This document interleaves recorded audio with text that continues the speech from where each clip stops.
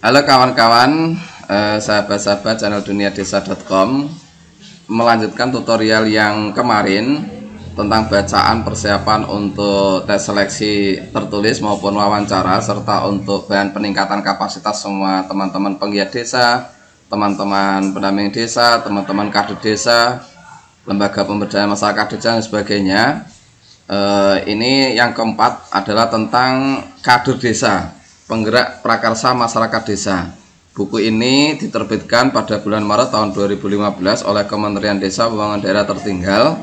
Waktu itu masih dijabat oleh Pak Menteri Desa yang pertama yaitu Pak Marwan Javan. Buku ini yang keempat ini berisi tentang konsepsi kader desa, kemudian kader desa sebagai civil institution, orientasi baru KPMD, menemukan kader desa, kemudian pembentukan kader desa, pengembangan kapasitas kader desa. Ini yang ada di dalamnya, penjelasan-penjelasan yang ada di dalamnya penting bagi kita untuk mengembangkan wawasan supaya nanti kita dapat melihat realnya apakah kader desa itu di bergeraknya orientasinya atau tumbuh berkembangnya bagaimana itu sangat penting bagi kita kita masuk pada bagian yang pertama yaitu konsepsi kader desa makna kader. Ini nanti setelah kawan-kawan membaca secara detail akan menemukan banyak kata-kata banyak pengertian-pengertian banyak definisi-definisi yang menjelaskan tentang makna kata kader. Nah kader itu hadirnya dalam hal apa saja? Ini Misalnya, kader desa hadir dalam pengelolaan urusan desa melalui perannya sebagai kepala desa, anggota BPD, kader pemberdayaan masyarakat desa, tokoh adat, tokoh agama, tokoh masyarakat, tokoh pendidikan, pengurus, anggota kelompok tani, dan seterusnya.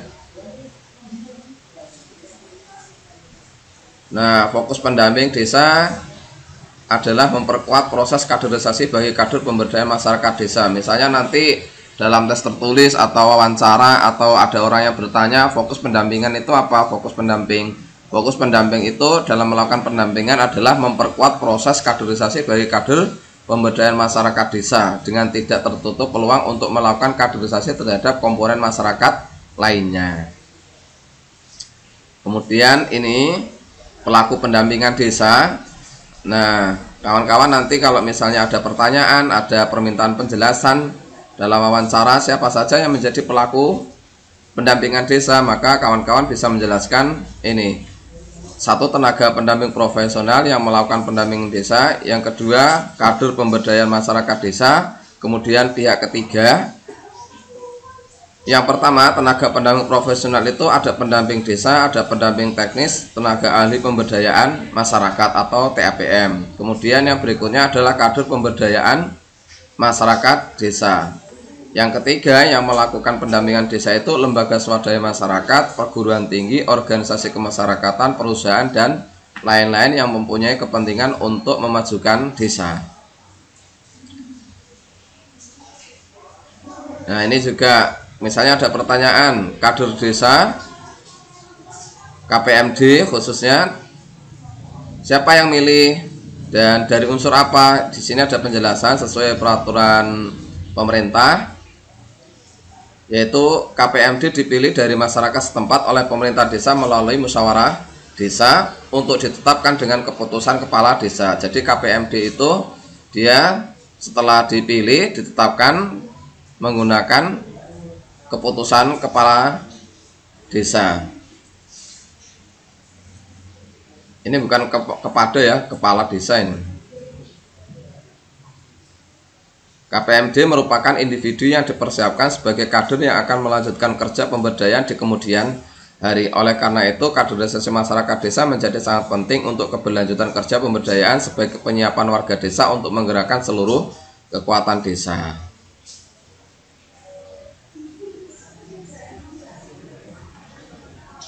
Kemudian kader desa sebagai civil institution ini pengembangan wawasan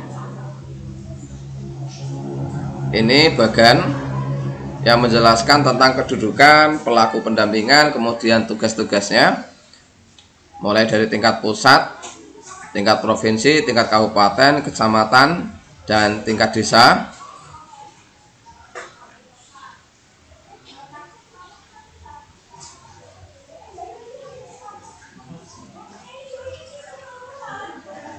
Kemudian ini ada penjelasan Orean tentang orientasi baru KPMD.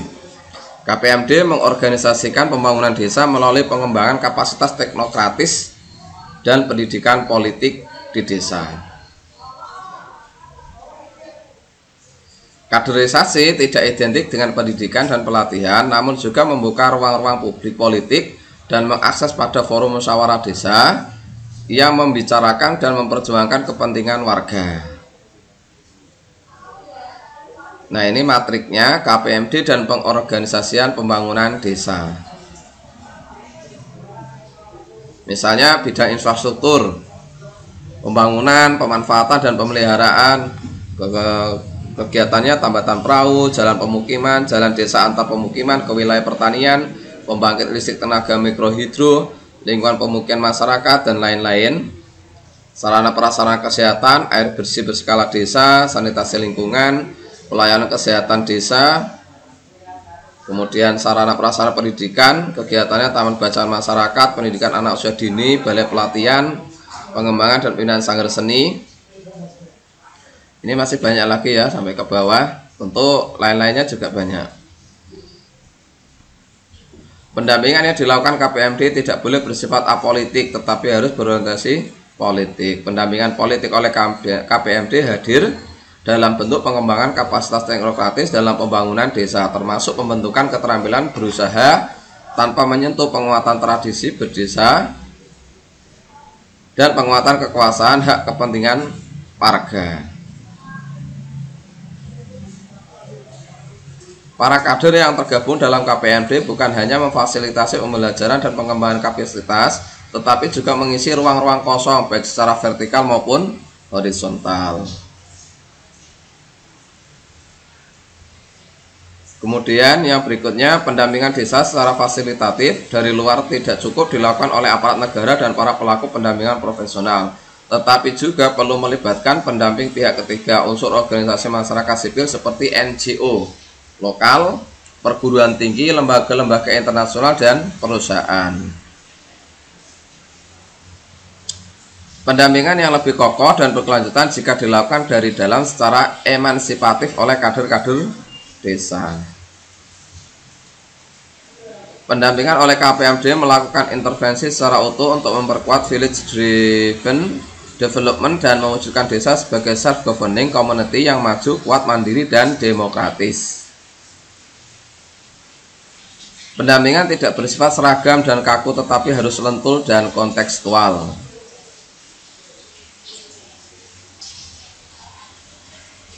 Peran pendamping desa yang berkebutuhan kecamatan mempunyai tugas yang diamanatkan oleh Permendes nomor 3 2015 tentang pendampingan desa untuk melakukan peningkatan kapasitas bagi kader pemberdayaan masyarakat desa dan mendorong terciptanya kader-kader pembangunan desa yang baru.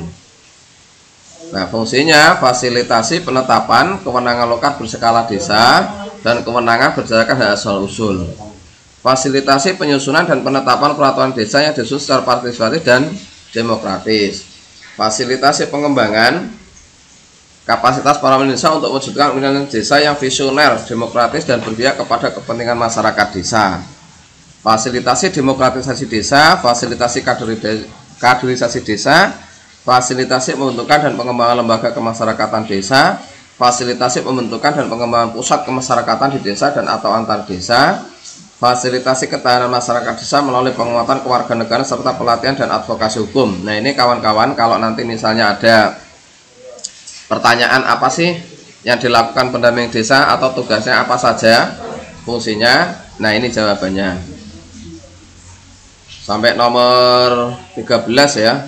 Fasilitasi pembentukan serta pengembangan jaringan sosial kemitraan.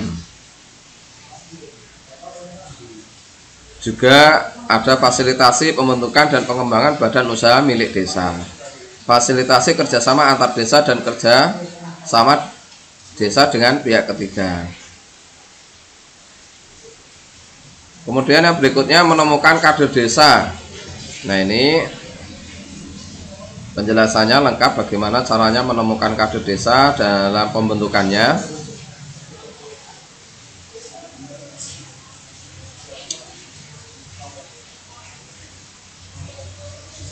Kemudian pembentukan kader desa melalui musyawarah desa untuk memilih kader dalam wadah KPMD Kemudian pengembangan kapasitas kader desa. Untuk mengembangkan kapasitas kader desa, pemerintah desa dapat membentuk beragam lembaga kemasyarakatan sebagai wadah bagi warga mengaktualisasikan dirinya sebagai warga desa.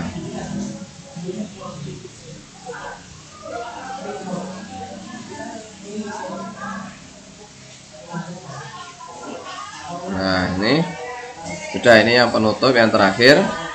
Oke kawan-kawan Bapak Ibu semuanya sahabat-sahabat channel dunia desa.com Filenya ini nanti akan saya upload seperti biasa di deskripsi di bawah judul Silakan untuk di download Jika tayangan ini bermanfaat silakan bagikan Dan tulis komentar serta klik jempol Untuk dapat menerima pemberitahuan untuk tayangan video berikutnya atau file-file berikutnya silakan klik tombol subscribe.